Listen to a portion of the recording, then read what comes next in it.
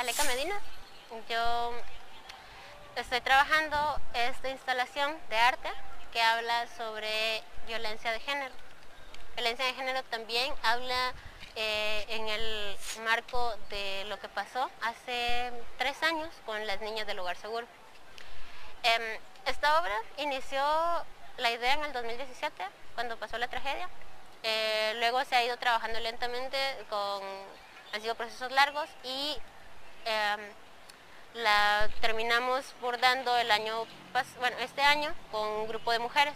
Este grupo de mujeres eh, estuvimos hablando sobre testimonios, por ejemplo, eh, en sus hogares, hablando sobre todo tipo de violencia que han pasado, no solo violencia física ni sexual, violencia económica, todo tipo de violencia que incluso a veces es muy difícil de darse cuenta.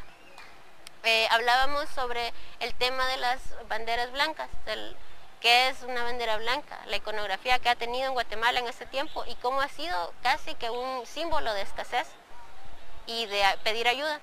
Entonces nos ponemos a pensar cómo sería si en cada hogar donde está pasando algo de violencia hubiese habido una, hay una bandera blanca, o hubiese habido una bandera blanca. Por eso es que está las cañas, por eso es que es, volver el parque central y la plaza de las niñas en un patio. Al final la plaza es un lugar gris, pues en un momento es un comedor solidario con la olla comunitaria como es ahorita, en otro momento es un altar, en otro momento es lo que sea.